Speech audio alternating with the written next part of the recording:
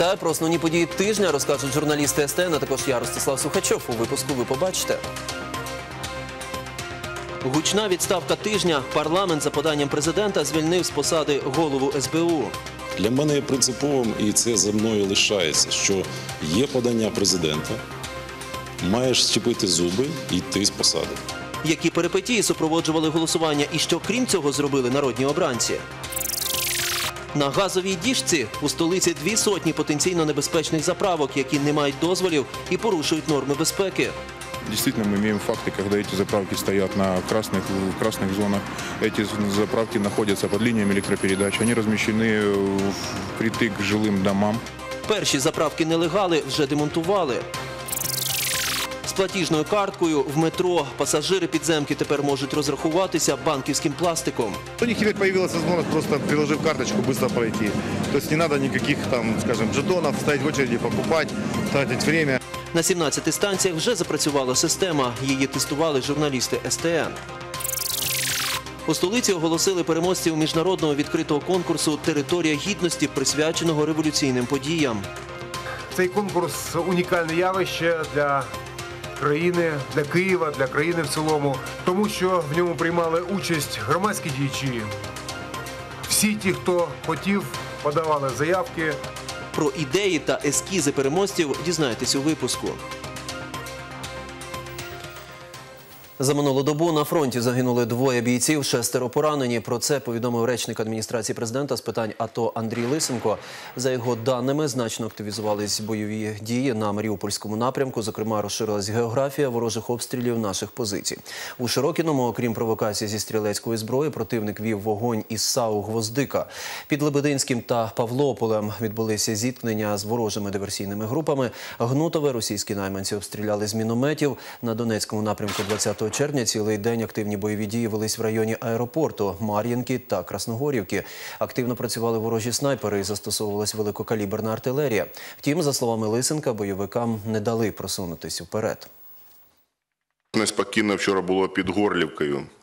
Там бойовики вели вогонь по наших позиціях східніше та західніше від Світлодарського водосховища. Зокрема, було зафіксовано два ворожих обстріли з 152 мм гармат, причому вогонь вівся з різних майданчиків. Це підтверджує дані нашої розвідки, що всупереч мінським домовленостям противник стягнув у Горлівку значну кількість важкої військової техніки. Близько сотні бійців батальйону особливого призначення Січ повернулись з е, АТО на ротацію з квітами і урочистостями вояків зустрічали на Майдані Незалежності.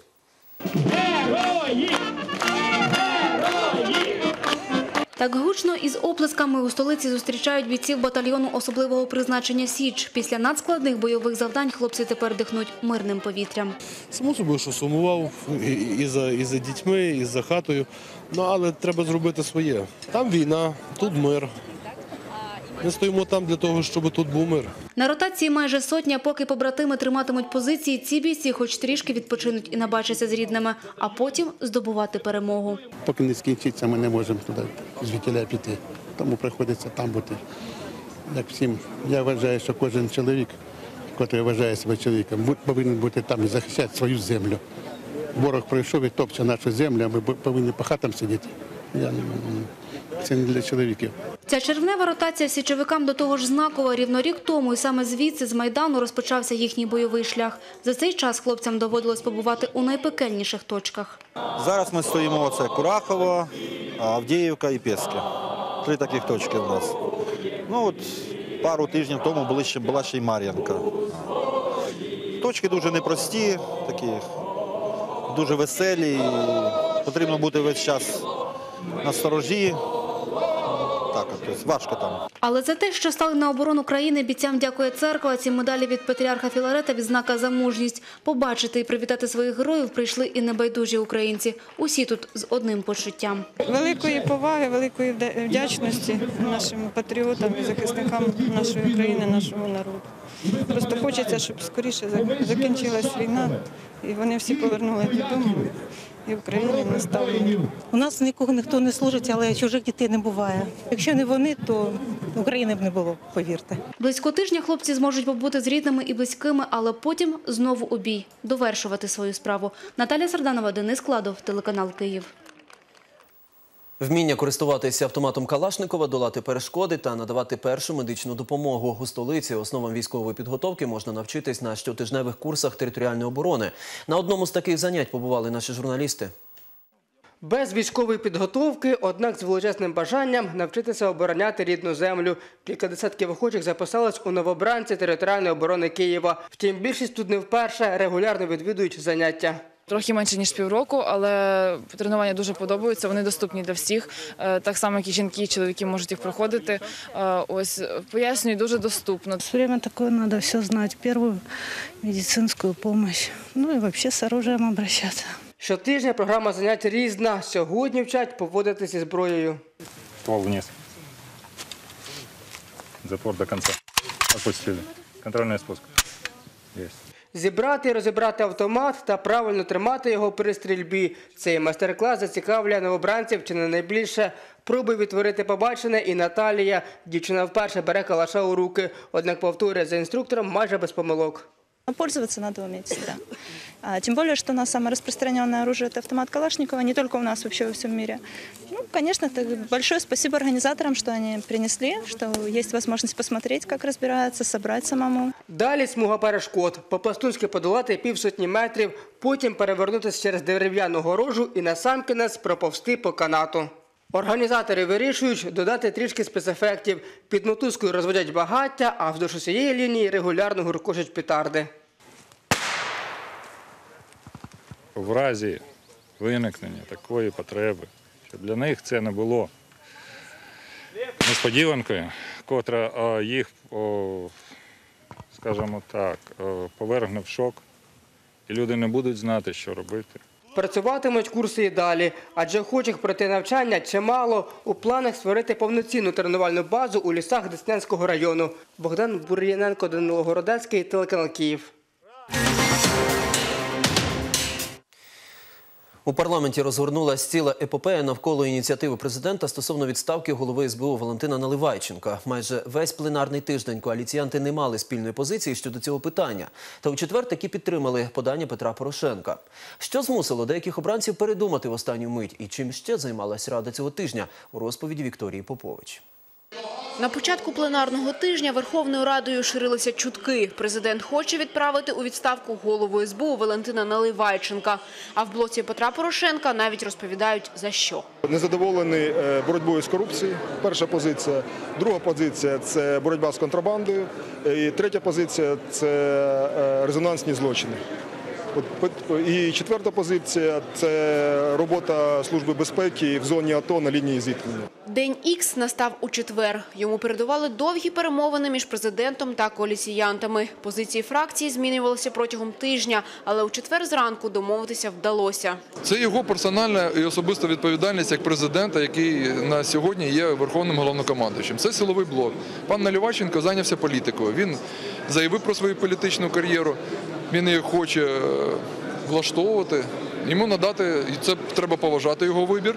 Тому ми будемо підтримувати. Вагалися лише ударівці, адже саме за квотою цієї політсили Наливайченка призначили головою СБУ. Есть э, позиция большинства коллег удара о том, что э, Наливайченко нужно поддерживать и не голосовать за его отставку. Это, в частности, моя позиция. Ми чекаємо зараз на зустріч Віталія Кличка з президентом і на позицію саму Валентина Наливайченка. Якщо у нього буде позиція на те, що він готовий добровільно написати заяву про відставку, тоді ми готові підтримати. І от голосування. Тихо, без жодних обговорень парламентарі підтримали відставку Валентина Наливайченка. 248 «за».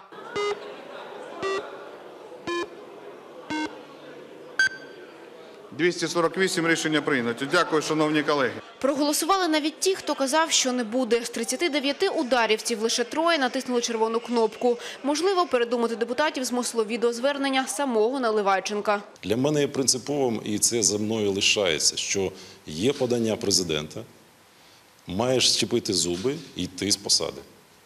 Я дякую, якщо мене почують і відповідно проголосують, в тому числі і е, народні депутати фракції Удар або не фракції, а групи Удар, яка входить зараз в коаліцію. Утім, парламентом знову ширяться чутки. Не просто так фракції підтримали подання. Каждая фракция, которая проголосует, получила свои преференции. Получили должностя, казино, условия, выгодные позиции на выборах. Жодних обіцянок про скасування двох турів виборів я особисто і наша фракція нікому не давала, і я спростовую цю інформацію. Такі провокації просто-напросто намагання відвести увагу від більш нагальних питань, переконані депутати. Адже четвер – останній день, коли Верховна Рада може легально і планово змінити виборчу систему. Сьогодні парламент і держава, ховаючись за тим абсолютно незначущим конфліктом, який зайняв уми журналістів і людей протягом трьох днів, заховатися від прийняття важливого рішення рішення зміни виборчої системи країни. Але політичної волі вистачило. Депутати проголосували у першому читанні законопроект, за яким вибори до міських, районних та обласних рад будуть проходити за пропорційною системою з відкритими списками, а вибори міських голів у два тури. Партіям встановлять прохідний бар'єр у 5%. Того ж вечора Петро Порошенко пристав тимчасово виконуючого обов'язки голови СБУ Василя Грицака, який раніше обіймав посаду першого заступника служби. Президент зазначив, що не задоволений роботою Служби безпеки у боротьбі з корупцією та контрабандою. маючи іншу аргументацію, в тому числі з кардинальним незадоволенням ситуації по боротьбі з корупцією, по боротьбі з контрабандою, по боротьбі з режимом перетину лінії зіткнення в зоні антитерористичної операції, по боротьбі з корупцією на державних підприємствах, по розслідуванню справ, пов'язаних з цим, я прийняв рішення скористатися своїм конституційним правом на оновлення в керівництві Служби безпеки України. Цього пленарного тижня Рада у першому читанні почала лікувати хворобу всіх скликань – кнопкодавство. І як щеплення від неперсонального голосування – санкції. Заборона на участь у 10 засіданнях, а при повторному порушенні взагалі у 20. За цей період депутат-порушник не отримуватиме зарплату. Також тих, хто голосує за себе і за сусіда, позбавлятимуть прав обіймати керівні посади в парламентських комітетах та асамблеях. Обранці, кого раніше ловили на гарячому, кажуть, треба ще суворіше. От лица общества кнопкодавов хочу поддержать этот закон двумя руками. И надо еще более сделать серьезным наказание, чтобы ни у кого не было даже малейшего желания приступать к закон. Одноголосно підтримали за основу і законопроект, що змусить нардепів відкрити імена та прізвища всіх своїх помічників, ба більше оприлюднити свої витрати на робочі поїздки і перельоти, проживання в готелях та вартість оренди житла. Обранцям доведеться опублікувати тексти всіх своїх запитів, а також стенограми засідань комітетів, доступ на засідання яких відкриють для журналістів. Вікторія Попович, Данило Городецький, телеканал Київ. Київська влада веде переговори з польською стороною, щоб придбати на вигідних умовах трамваї європейського класу. Про це мер Києва Віталій Кличко заявив у Польщі після візиту на підприємство ПЕСА, один з найбільших у Європі виробників колійного транспорту. Сьогодні рухомий склад київського парку трамваїв близько 450 одиниць. Половину треба оновлювати через їхню зношеність і термін експлуатації. У мерії польського міста Бидгощ Віталій Кличко підписав е, з керівництвом ПЕСА меморандум про взаєморозуміння. Мер зазначив, що незабаром ми отримаємо польський трамвай на тестові випробування. Це енергоефективний технологічний транспорт з Wi-Fi та онлайн-діагностикою його стану. Ці трамваї останнього покоління, вони енергоефективні, вони е, набагато комфортніші, ніж старі. Ми знаємо, що ці трамваї, які зараз використовуються у місті Києві їм по 20, 30, 40 років. Е, впевнений в тому, що ці переговори дійдуть до завершення і найближчий час кияни зможуть користуватись сучасними технологіями. Кияни та гості міста зможуть оплачувати проїзд у метро безконтактними банківськими картками MasterCard. Такі пристрої вже працюють на 17 станціях підземки. Новації випробували і наші журналісти. Тепер, аби проїхатися у метро, не потрібно стояти в довжелезних чергах до каси з жетончиками чи шукати гроші для поповнення електронного проїзного квитка. Потрапити у підземку можна за допомогою звичайної банківської картки. Для того, аби сплатити за проїзд, потрібно просто піднести платіжну картку MasterCard до турнікета. З рахунку автоматично зніметься сума, яка відповідає вартості проїзду – 4 гривні. Такий проект реалізували в рамках програми Smart City. Каждый человек должен экономить свое время. И вот э, у некоторых нет возможности, там, они не ездят в метрополитене или используют не так часто его, у них нет единого билета. по какой-то причине. Они приехали в Киев, это гости столицы, это кто угодно. Вот у них теперь появилась возможность просто, приложив карточку, быстро пройти. То есть не надо никаких там, скажем, жетонов, стоять в очереди, покупать, тратить время. Бюджет Киева от этого не потратил ни копейки. Київ став п'ятим містом у світі після Лондона, Чикаго, Бухареста та Санкт-Петербурга, де впровадили такий метод розрахунку у метро. Такими турнікетами вже обладнали 17 станцій. Пока мы взяли центр э, столицы, бизнес-центр, э, соответственно, туристический центр, Где максимально будет использована, ну, мы надеемся, будет использована эта услуга. Дальше, если инвестор изъявит желание, безусловно, мы будем открыты и будем устанавливать, э, оборудовать другие станции. Но это перспектива, я думаю, трех-четырех месяцев. Щоправда, скористатись такою послугою у підземці можна карткою, під'єднаною до системи ППС. Зокрема, на ній має бути відповідна позначка. Картку з безконтактною технологією оплат MasterCard будь-хто може оформити у відділеннях 14 банків. До того ж, прийти в метро за допомогою своєї платіжної картки зможуть і пасажири-іноземці. Любая карта мира, на которой есть бренд бесконтакта MasterCard, может свободно зайти в киевское метро. Это прекрасно, особенно для туристов, которые приезжают в нашу страну. На сегодня э, в мире э, уже проимитировано около э, 150 миллионов бесконтактных карт MasterCard. У столиці ж такими картками користуються близько півтора мільйона киян. Переваги нової системи відчули й пасажири. Менше часу в чергах і менше поповнювати картки у е, цих е, банкоматів. Я думаю, це буде дуже чудово. Я прошел, не создает очереди и все. То есть я думаю, что в принципе максимум комфортно то, что можно было сделать, сделали. Мы приезжие сегодня уже уезжаем. Мы по жетонам, как, как всегда, как обычно, так и проходим. А я считаю, что будет, э, будет очень удобно, будет, будет быстрее и будет удобнее. Систему ж безконтактної оплати за проїзд планують впровадити в усьому громадському транспорті столиці. Олександра Расторожна, Юрій Росихай, телеканал Київ. У Києві продовжують демонтувати незаконні газові АЗС, які несуть потенційну загрозу жителям. Поки що таких у місті визначили 14, раніше 4 вже прибрали. На цьому тижні від заправок нелегалів розчищали Подільський район. Подробиці у сюжеті.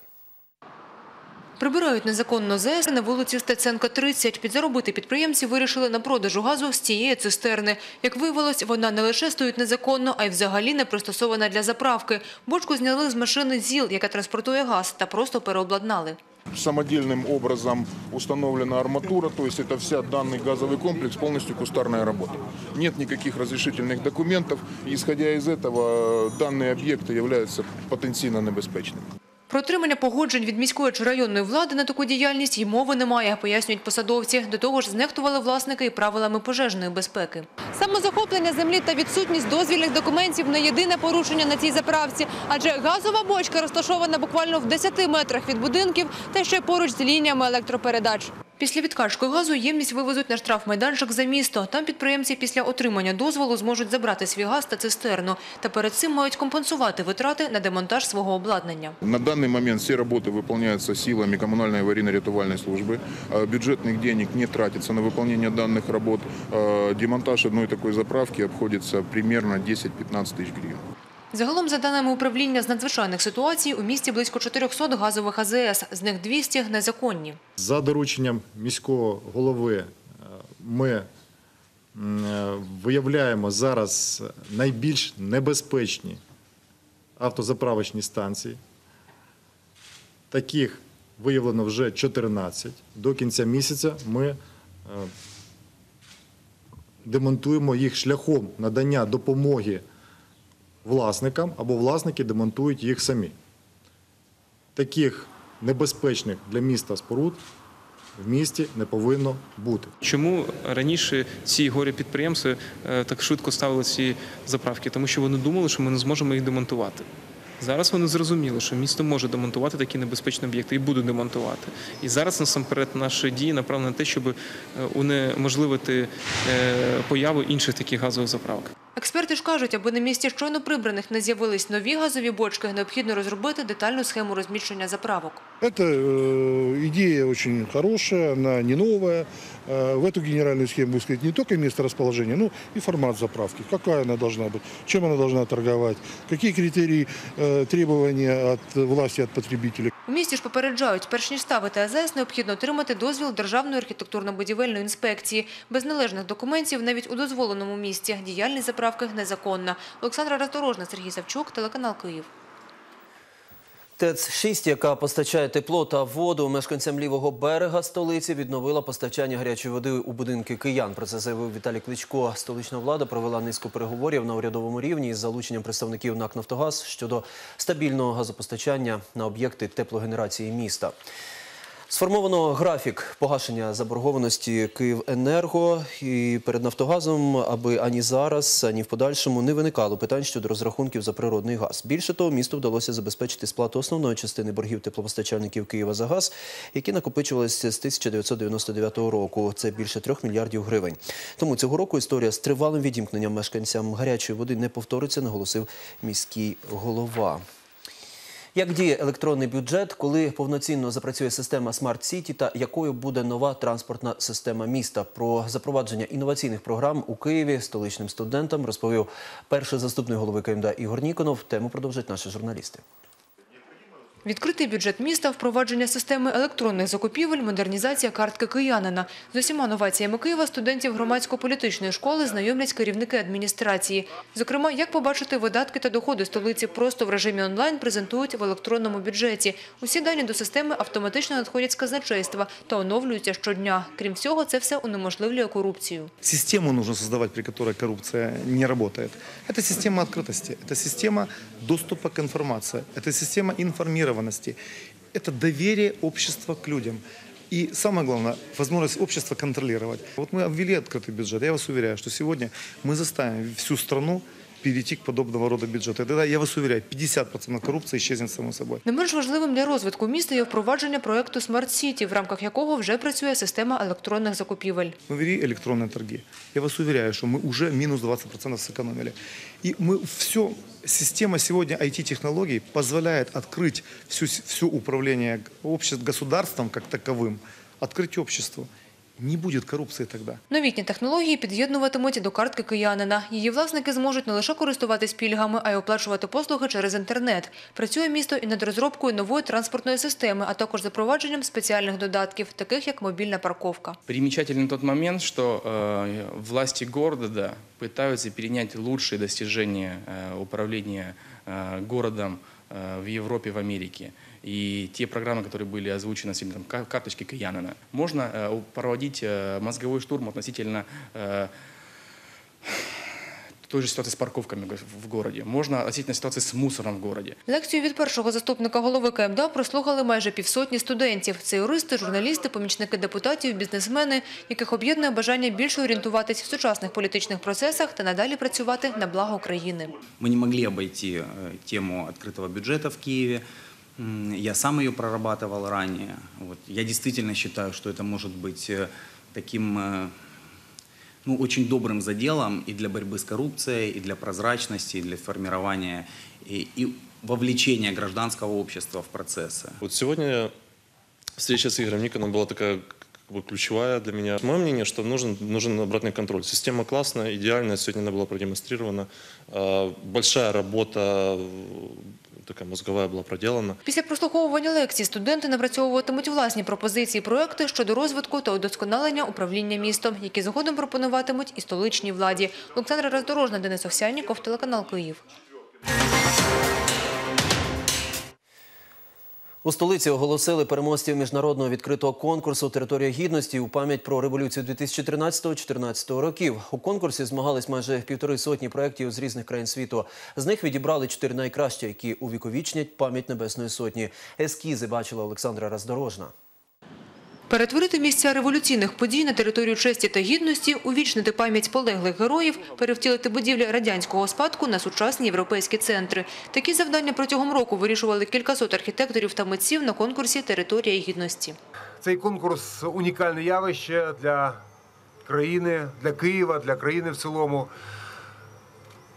Тому що в ньому приймали участь громадські діячі. Всі ті, хто хотів, подавали заявки. І на конкурс надійшло вже в кінці кінців 149 проєктів. Вони були викладені для обговорення, відкритий доступ на сайті. Е, Було проведено народне голосування і в визначенні взяло участь е, приблизно 10 тисяч людей, які відвідували цей сайт. Обговорення проєктів тривало 6 місяців. Заявки на участь у конкурсі надсилали з 40 країн світу. Автори змагались у чотирьох номінаціях. Кращу концепцію розвитку громадського простору Майдану розробили митці із Тайваню.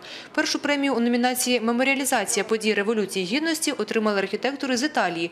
Проєкт передбачає створення алеї червоних кленів на вулиці Героїв Небесної Сотні, які символізуватимуть жертовність полеглих героїв та нове життя для країни. Втім, почесне друге місце посів український проєкт. Нам э, хотелось создать именно мемориализацию в интерактивной форме. То есть сначала засвечивается дорога, это, по которой э, ну, во время Майдана бежали студенты вот, и прятались в Михайловском соборе. То есть это как бы воспоминание про то, что было. Э, вот. э, по- Потом уже э, потом подсвечиваются сами баррикады, вот, и на них появляются имена погибших. В номінації щодо перетворення українського дому на сучасний міжнародний культурний центр кияни вибороли першість. То там є поверх, це освітній поверх, там, де люди будуть вивчати мови. Потім є виставковий поверх, є поверх розважальний, є поверх майстерень. Ця тераса, яка на парк Володимирську горку виходить. Ми хочемо з нього робити літній кінотеатр. Ідею заснувати в українському домі музей Майдану запропонувала інша команда українських архітекторів. Крім того, преміями відзначили авторів з Дубліна та Москви. Далі долю проєктів щодо створення майбутнього музею вирішуватиме Міністерство культури. Они подготовят программу, это будет отдельный конкурс, проведет его Министерство культуры, и мы получим э, музей Майдан, украинский дом. Он принадлежит Державному управлению с правами президента. Они поддерживали этот конкурс наш, поддерживали подход, они хотят узнать, а что можно сделать с э, этим зданием. И вот э, и та идея, которая сегодня получила там номинацию, премию, это будет передано в ДУСю. Реконструювати ж центральний простір столиці та створювати меморіал Героям Небесної Сотні почнуть одразу після схвалення обраних проєктів громадою. Олександра Роздорожна, Юрій Росахай, телеканал Київ. Щодня та щохвилини, часом без сну та відпочинку вони рятують чиєсь життя. Напередодні дня медичного працівника міський голова Віталій Кличко привітав столичних лікарів з професійним святом. На урочистостях побували наші кореспонденти. Юрій Козинець роботі в центрі екстреної медичної допомоги присвятив 18 років. На швидкій доводилось допомагати і під час пожежі під Васильковим добровольцем лікар їздив і в зону АТО. Тоді з-під Іловайська разом з бригадою вдалося витягнути більше сотні бійців. Эвакуировали на вертолетах э, раненых после Иловайских событий. Это осень прошлого года. Когда видишь этих молодых ребят, которые нуждаются в помощи, э, вот, и ты все-таки э, довозишь живого молодого человека, и он вернется в свою семью, к своим родным, ну, вот это на самом деле очень, очень приятно, что, что действительно оказал помощь. А Ольга Іванівна працює у шпиталі інвалідів Великої вітчизняної війни. Вже 33 роки організовує та слідкує за роботою медперсоналу, щоб її відділення працювало як годинник. Та крім учасників війни, доводилось допомагати і військовим з АТО. Я сама хотіла поїхати. Ну, вже сказали більше 50 років. Щоденна справа моя така це забезпечення відділенням е, медикаментами, керування роботою медичного медперсоналу, допомагати людям стояти на стороні їх здоров'я. За віддану працю та професіоналізм грамотами та подяками міського голови, Міністерства охорони здоров'я, депутатських фракцій до професійного свята вітають столичних медиків. Їх у Києві близько 56 тисяч. Ми ніколи не забудемо, коли медичні працівники виходили на Майдан, допомагали пораненим, рятували життя. Сьогодні 115 київських медичних працівників з березня минулого року були в АТО. 11 з них добровольців, які щиро роблять те, щоб рятувати життя інших людей. Ми за це вам щиро вдячні. Загалом почесними нагородами відзначили близько 100 працівників столичних закладів охорони здоров'я. Та крім подяк медикам, допомогти місто планує і самим лікарням. Цьогоріч з бюджету міста на розвиток галузі додатково виділено понад 60 мільйонів гривень. Будуть відкриті два емердженсі відділення на Печерську і в Олександрівській лікарні. Сьогодні ми знаходимо можливість е, відновити працю е, дитячих басейнів е, на Солом'янському районі міста Києва, які знаходяться саме в дитячій лікарні. І в цьому році, не дивлячись ні на яку проблему з фінансуванням, е, Київська міська рада прийняла рішення і виділила нам 19 мільйонів гривень на закупівлю обладнання для восьми лікарень інтенсивного лікування. Таким чином, я е, думаю, що в четвертому кварталі е, нам вдасться це обладнання поставити. Приємні сюрпризи на столичних лікарів чекали і в національній опері. З оркестром зустрічаються найвідданіших професій. А заслужені медики отримали особисті подяки від київського міського голови. Дуже приємно, що е, суспільство, адміністрація, е, люди знають про це свято, поздоровляють нас. Це накладає на нас ще більшу відповідальність по, по тій справі, якій ми посвятили своє життя, дарувати здоров'я людям. А після завершення офіційної частини гостей зі святом привітали балетом «Жизель». Олександра Роздорожна, Ярослава Ковтун, Юрій Росохай, Роман Тимошевський, телеканал Київ. Маршем до центрального відділення СБУ пройшли кілька десятків активістів, переодягнених у зомбі. Учасники зомбі-ходи штовхали перед собою імітацію реактивної установки «Град», зробленої з газети «Вєсті». В такий спосіб загримовані мітингувальники вирішили вкотре привернути увагу громадськості та правоохоронних органів до небезпеки російської пропаганди, яку, на їхню думку, поширює це видання. Активісти переконані, «Вєсті» публікують недостовірні матеріали, чутки, сіють безпідставну паніку в громадян та розпалюють сепаратизм. І найнебезпечніше, що агітка Кремля, так називають газету мітингувальники, щоранку потрапляє тисячними накладами до рук киян та гостей столиці. Тому в СБУ переконані, вони мають негайно вжити заходи до видання. Моя думка в тому числі, що люди, які її читають, е, вони як стають зазомбовані, тому що інформація, яка там подається, вона є необ'єктивною. Нікому е, зараз не секрет, що в двох наших областях, ну і не тільки в двох, але е, найяскравіше це виражено в Донецькій Луганській, нав'язується руський мір. Ну, а так хочемо показувати, що ну, показати, що нас чекає якби, у майбутньому, якщо ми не, не почнемо думати самостійно. Е, Звертаючи увагу на тираж цієї газети, що в Києві вона виходить тільки в один день 300 тисяч примірників, це просто промивання мізків пропагандою іншої країни. У нас поширюється пропаганда окупанта, який вбиває наших людей, які анексували Крим, ну і так далі. Це смішно, що СБУ України нічого не робить. Оці дрібні кроки, типу обшуків, ну це все якась показуха, я не знаю, як це назвати, але це не є робота спецслужб. Ми вимагаємо закрити газету «Вєсті». Сотні людей обливались у гідропарку на Венеціанському пляжі, влаштували традиційну бійку водою. Взяти участь міг в ній будь-хто. Як зброю використовували водяні пістолети, відра, пляшки та навіть пакети. Головне правило таких боїв у бік противника має летіти лише вода. Деякі учасники організувались у команди. За сухістю одягу вони визначали переможців.